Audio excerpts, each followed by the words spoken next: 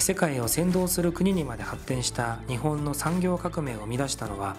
優秀な専門家及び彼らの技術力のおかげでした。産業発展のためにどのような専門家が求められるかという問いに答えるために考えられたカリキュラムが高等教育制度です。高専というのは日本の工業高等専門学校という言葉の略称です。日本でおよそ60年間続いており日本のテクノロジーを発展させたこの教育制度がモンゴルに導入されてすでに10年が経ちました。では一体どうしてこの制度がモンゴルに導入されどうモンゴルを発展させるエンジニアを育てるかについて一緒に見ていきましょう。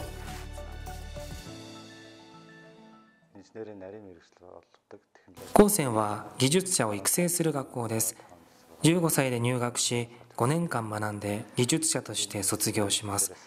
高専制度は戦後の日本の産業を復活させるために大きく貢献したと言われています。卒業生はほとんど大手企業で働いています。特定の分野での研究者として働いている人もいます。高専は世界中から注目され現在マレーシアインドネシアベトナムなどの国で同じ制度を取り入れています。モンゴルには今年導入され3校が同時に設立されました。2008年からモンゴルで高専を作るための活動を始めました。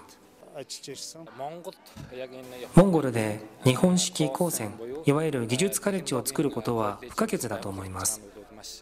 トヨタ高専を96年に卒業しました。日本で卒業した先輩や後輩たちが日本の高専のノウハウをモンゴルに導入する事業に携わってくれていることに感謝しています。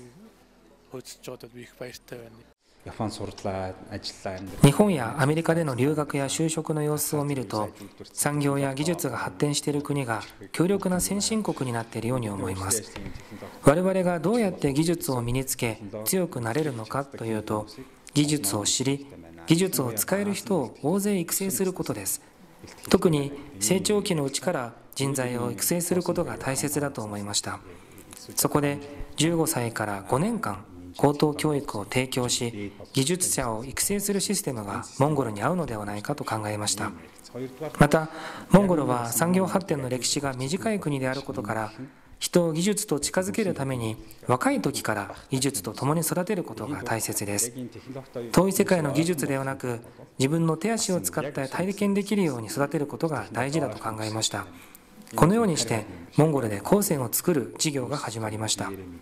学んだことを応用する能力を身につけるために実験や実習を重視することが高専の教育の特徴です。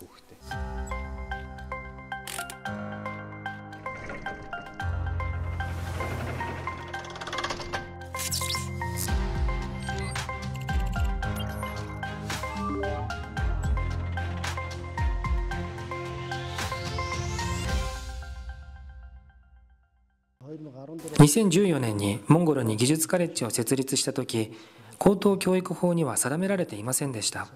そのため最初は工業高校としてスタートしました。2012年から2016年の間に教育大臣であったガントムル氏は日本の高専の卒業生でした。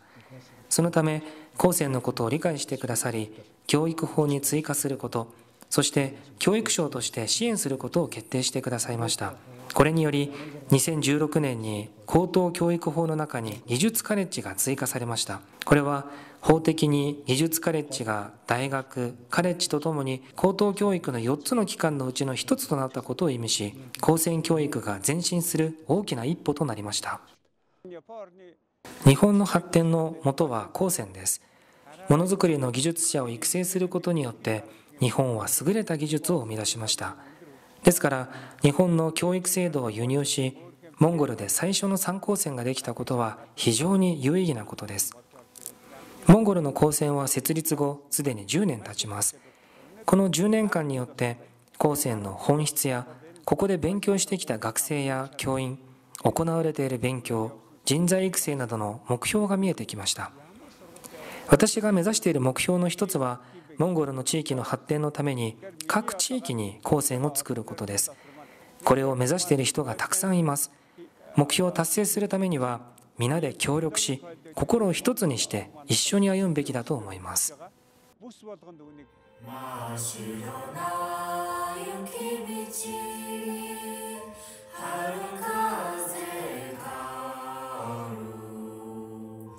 私は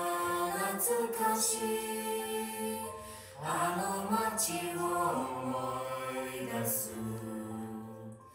2019年に高専の初めての卒業式があり3高専で140人ぐらいの学生が卒業しました。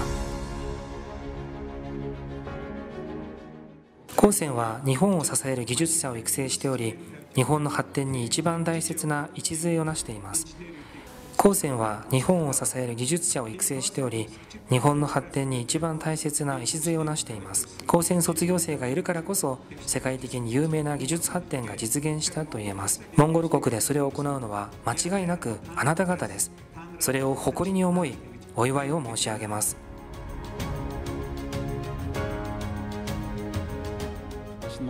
新モンゴル技術ガレッジの初の卒業式が行われています。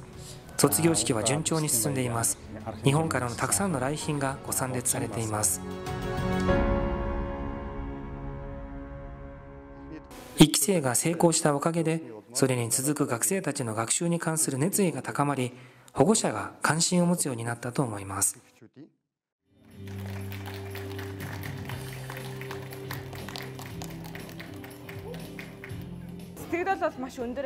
すごく感動しています。私たちはこの5年間がこんなに早く過ぎるとは思いませんでした。入学してから自分の能力が伸びていることには全く気がつきませんでしたが今日振り返ってみると知識や実技の能力ソフトスキルがすごく伸びた5年間だったと感じます。卒業生の皆さんは世の中の日常生活を住みやすくすること環境と経済に関する社会問題をスマートに解決できるエンジニアになっていると思います。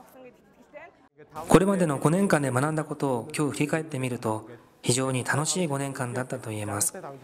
15歳で初めて入学し20歳で技術者として卒業します。他の人より多くの技術を身につけることができこの5年間が言葉で表せないほど充実したものになりました。1月に日本にインターンシップをしに行きました。そしてその会社に就職することになりました。将来モンゴルを発展させるために海外でたくさん経験を積みいずれ帰国してエンジニアとして働きよりたくさんのものを作りたいと思っています。新モンゴル高専は母国の企業の発展を支える力になるという目的を持つ学校です。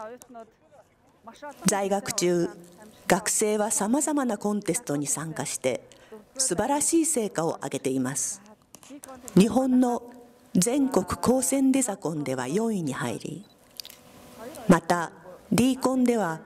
本校から長岡高専に進学した2人の学生が優勝しました。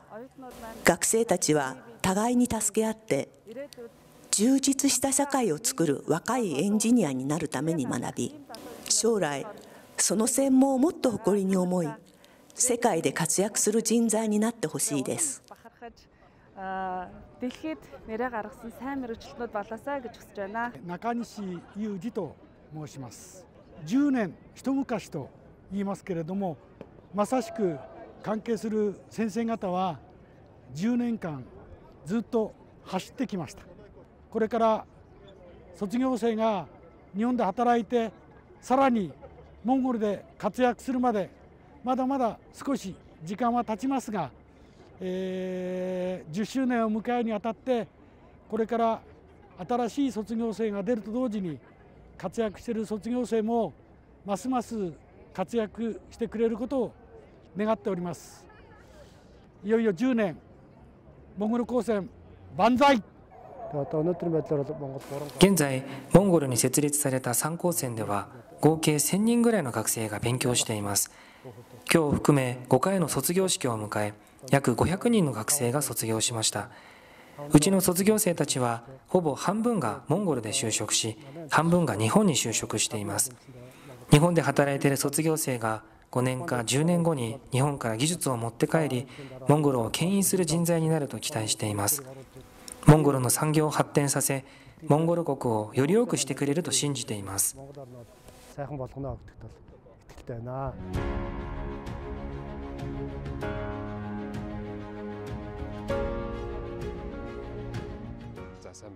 こんにちは私はビレクサイハンです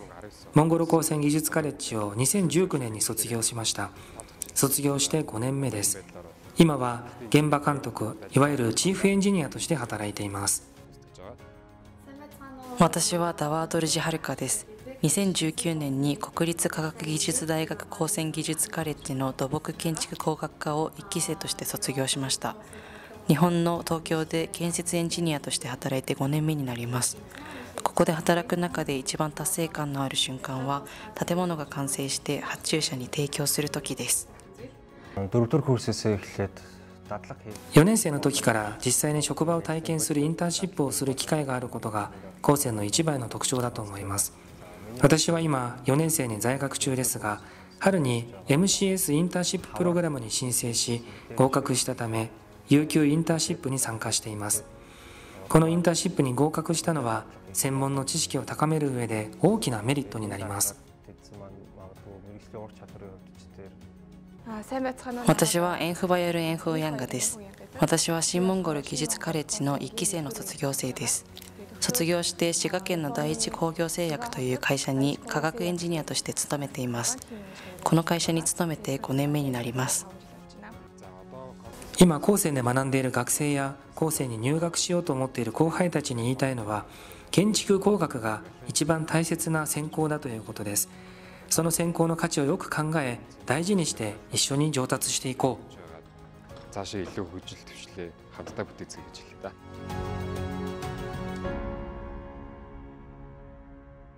はい、苫小牧高専校長の小林と言います。えー2024年にはモンゴル高専が10周年を迎えられるということおめでとうございます。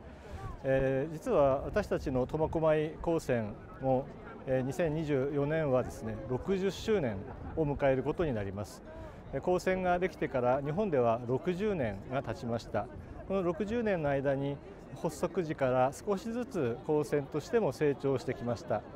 モンゴルにおける高専制度も、えこの10周年を機にまた次のステージに向かうものと思います。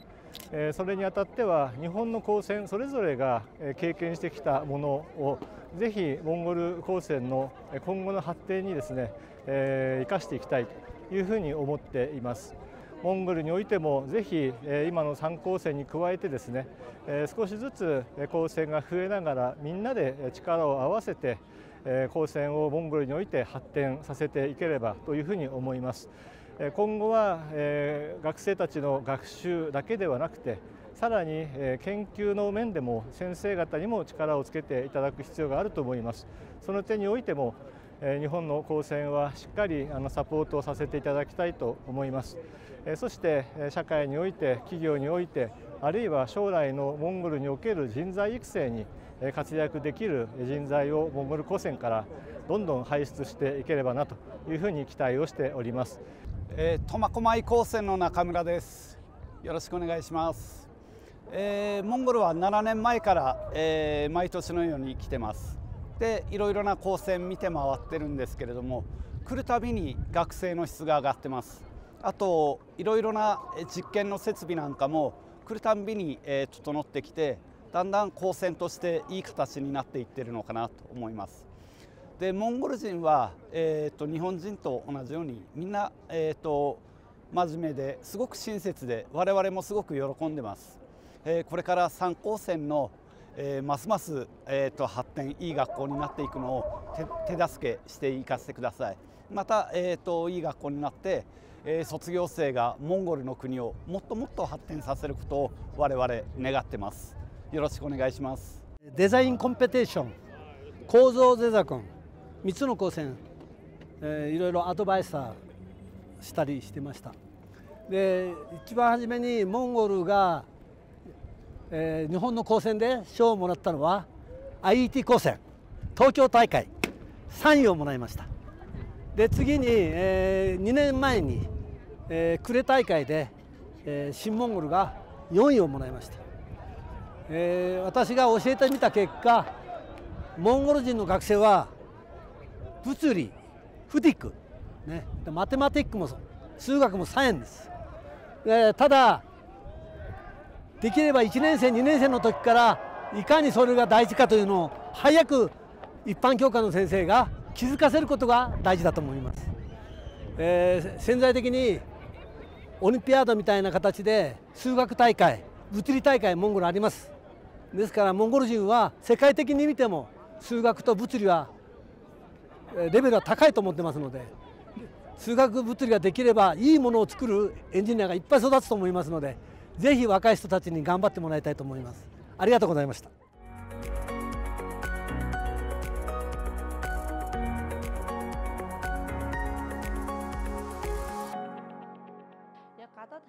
対外関係について言えば2017年に初めてモンゴルの高専生が日本の企業でインターンシップを行いました。その時から交流事業が拡大し始めました。毎年4年生の学生が選抜され夏休みと冬休みに1ヶ月間日本でインターンシップをしています。一方日本の高専生や大学生が我が校を訪問し実習や実験などの交流をしています。また桜サイエンス短期プログラムを通じモンゴルの3高専がチームになって日本の高専や企業を見学する研修に参加しています。2016年にはモンゴル高専の1期生である3名の学生が日本の国費留学プログラムに合格しました。それ以降毎年有名な1名から3名の学生がこのプログラムで日本に留学しています。日本の高専機構の支援により300人ぐらいの教員が日本で研修を行いました。また日本からも100人ぐらいの教員がモンゴルに来て研修を行いました。その他に JICA の支援で日本からボランティアの教員を招いて3高専で授業を教えていただいています。また日本で定年退職された先生たちと1年から2年の契約を結び日本の教材、授業法を用いて指導していただいています。高専の教育において教員たちは最も重要な存在です。きれいな建物良いカリキュラムがあっても学生を育てるのは教員です。適切な教授法情熱のある先生の存在がなければ効果が上がりません。ですから高専が設立されてから現在までの間学生を育成してこられた先生方に感謝しています。これからもいい成果が生まれることを期待しています。国内だけでなく世界中で活躍するエンジニアを育成することができると信じています。電気建設機械工学科には2018年に JICA から提供していただいた機械がたくさんあります。例えば電気電子工学科には PLC の装置があります。また、測定器や実験装置もたくさんあります。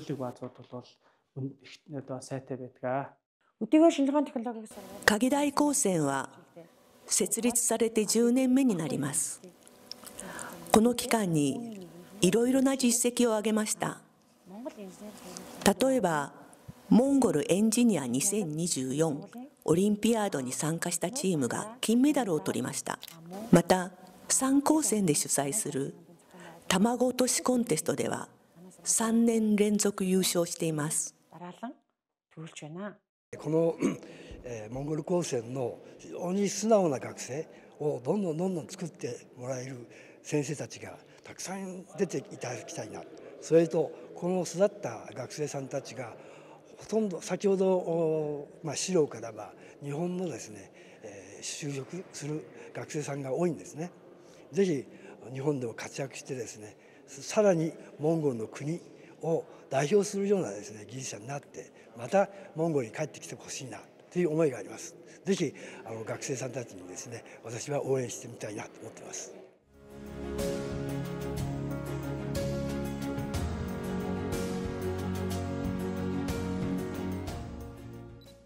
三高専は別々の学校ですからお互いに競争していると思われるかもしれません。しかし力を合わせて共に助け合う必要があります。大きくて新しい制度を取り入れているからです。そのためほぼ毎週三高専の校長との会議を行い方針について話し合っています。学生たちのバスケットボールやバレーボールの大会も3高専合同で実施しています。また桜サイエンスなどの日本の研修プログラムに関しても各高専から3人ずつの学生と1人の引率教員で参加しています。引率教員は3高専交代で選ばれます。第3回の学生学術発表会が行われています。今回の発表会はモンゴルにおける日本式の高専教育開始10周年を記念し高専の5年生が参加できる形で実施されています。高専の5年生は1年をかけて8単位の卒業研究をしますのでさまざまな知識や能力が身につきます。これも高専の特徴の一つです。モンゴルの3高専の学生は日本でのインターンシップに一緒に参加します。私は今年1月にアナ JAL の航空会社で他の2高専の学生と一緒にインターンをしました。その時3高専のカリキュラムはそれぞれ特徴があることがよく分かりました。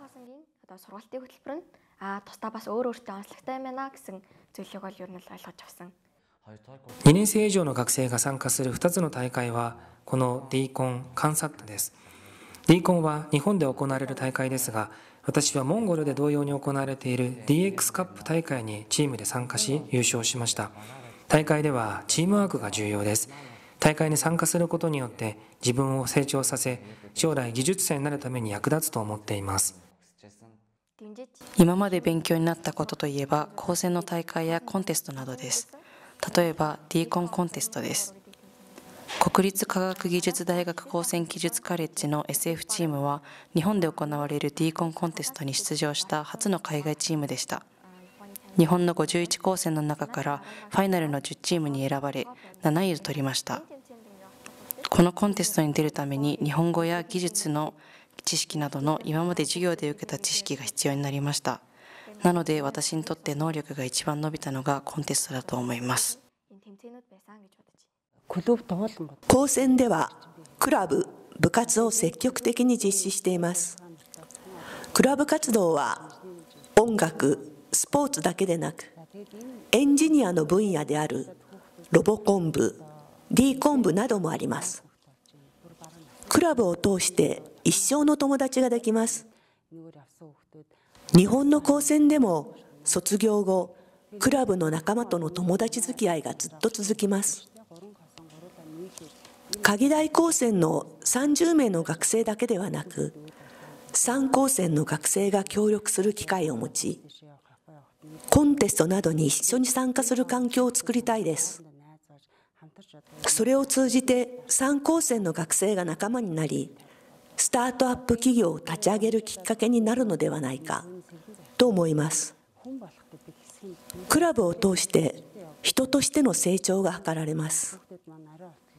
学生は夜中まで作業して大会に出場し勝ったり負けたりしています。そこからさまざまなことを学んでいます。私たちは学生が青年期の一番重要な時期を過ごす高専においてその成長を考え教育を実施しています。人が学ぶことには限界がありません。ですので学生に学ぶチャンスを与えることはモンゴル人の若者の能力を十分に発揮させることであると思います。高専教育システムは単なるエンジニアの育成を目的としたものではありません。自分も環境も愛することができそして課題を発見しその課題を解決できる若いエンジニアを育成しています。それによってモンゴル国の発展に大きな貢献をしていると思います。日本型の高専の教育というのは社会とか人にお役に立つような人を育てましょうという意味なんです。だからそのために僕は言葉としてね病気になったら病院にお医者さんにあのお世話になるでしょ。それと同じで社会も正しく発展しないといけないし健康であってほしいと思うから社会のお医者さんを作ってんですよ。 Doctor for the society。そういうことをができるような人。それを高専は作ってるんですよ。というそれで social doctor。Doctor for the society。ちょっと長いから social doctor という言葉を作ってそれをあの世界で定着させたいなと思ってるでだんだんだんだんモンゴルもそれが実現してきて例えばここの高専の場合には特にあの現実的に実践的ないろんなことをやっておられるからこれがどうやって世の中に役に立つか役に世の中の役に立つにはどうしたらいいかということみんなが考えることができるようになってるんじゃないかな随分発展していると思いますから将来はもっともっと発展しますから大変楽しみにしています。モンゴルからは日本にたくさんのお相撲さんを送ってくださってモンゴルの人が日本のお相撲さんの中では強い人ばっかりですよ。それがあるので我々としては恩返しをしないといけないので日本としてもできるだけの協力をして、えー、この国が良くなるようにというふうに思っています。高専の学生さん卒業生はソーシャルドクターですよ社会のお医者様ですよということを最後に申し上げたいと思います。高専ができて皆さん頑張れたおかげでいろんな人が協力されたおかげで今年10周年卒業生は今年第6期の卒業生が出ました10周年を契機にまた次に発展していただいて20周年30周年なる頃にはこの国がすごい発展していると思いますのでまずはこの10周年本当におめでとうございます。我々としても大変嬉しく思います。皆さんこんにちは。函館高専の阿部です。函館高専は昨年度創立60周年を迎えましたあの本校では国の枠を超えて、えー、現実社会や未来社会の課題発見解決に向けて自ら考えて行動できるグローバルエンジニアを目指しております。グローバル探求ではお互いの国が抱えている問題理解そして問題発見そして解決策、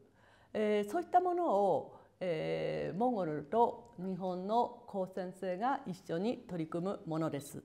モンゴル日本の、えー、子どもたちがですねやはりあの国の枠を超えて、えー、信頼関係を築いてあの立派な、えー、社会人となってグローバルエンジニアとなって、えー、グローバル社会で活躍していくことを願っております。今日はモンゴルの高専を見学をさせていただきました私が想像している以上に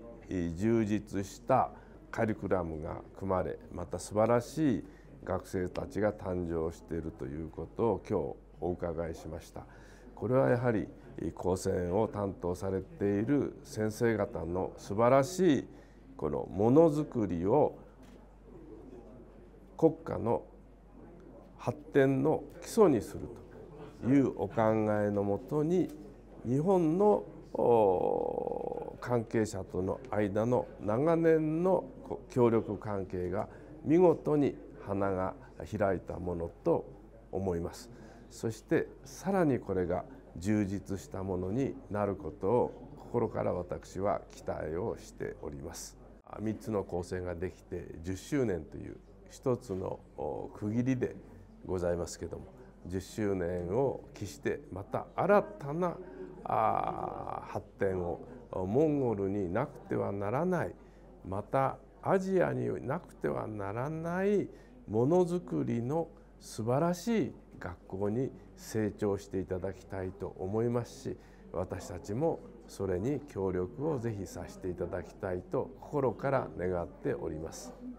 私たちは技術を追求したいと思っています。技術をどれだけ輸入できるか誰が身につけられるかがその国の発展を左右します後世の目的はモンゴルを技術大国にすることでありそのために若者たちに頑張ってほしいと思っています